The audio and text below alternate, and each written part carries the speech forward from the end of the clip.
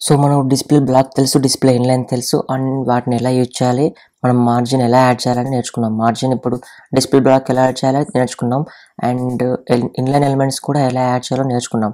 ఇప్పుడు inline ఎలిమెంట్స్కి margin add చేయాలంటే మనం వాటిని బ్లాక్ ఎలిమెంట్స్ కన్వర్ట్ చేసి యాడ్ చేస్తున్నాం కదా.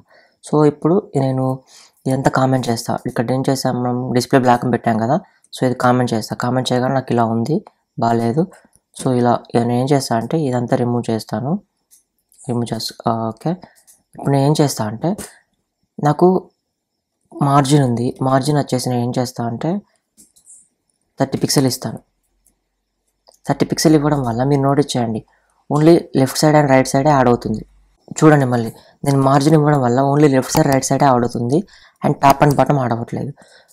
నాకు ఇప్పుడు ఇలా బ్లాక్ ఎలిమెంట్స్ కన్వర్ట్ చేయకుండా నాకు ఇన్లైన్ ఎలిమెంట్స్గానే ఉండి నాకు మార్జిన్ టాప్ అండ్ బాటమ్ కావాలనుకో సో అప్పుడు ఒక మన ప్రాపర్టీ యూజ్ చేయొచ్చు. అదేంటంటే display inline block. Inline block. So ఇది యూజ్ చేయడం వల్ల మీరు చూడండి మార్జిన్ అనేది యాడ్ అయింది. ఇక్కడ చూపిస్తాను టెన్ పిక్సెల్ అని పెడతాను.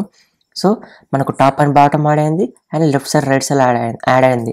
సో ఈ ప్రాపర్టీ యూజ్ చేయడం వల్ల display in block inline block అనేది దేని యూజ్ చేస్తామంటే మనం ఇప్పుడు ఇప్పుడు ఇన్లైన్ అనే బ్లా ఇన్లైన్ అనే ఎలిమెంట్స్ ఉంటాయి కదా వాటికి మనం margin top and bottom and padding top and bottom add చేయలేం.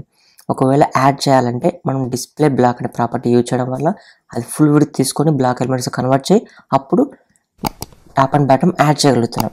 బట్ అలా కాకుండా నాకు ఇన్లైన్ ఎలిమెంట్స్గానే ఉండి నాకు మార్జిన్ అసెస్ టాప్ అండ్ బాటమ్ కావాలి అనుకుంటే display inline display inline block అనే ప్రాపర్టీ యూజ్ చేయాలి. సో అప్పుడు మీకు వర్క్ అవుతుంది.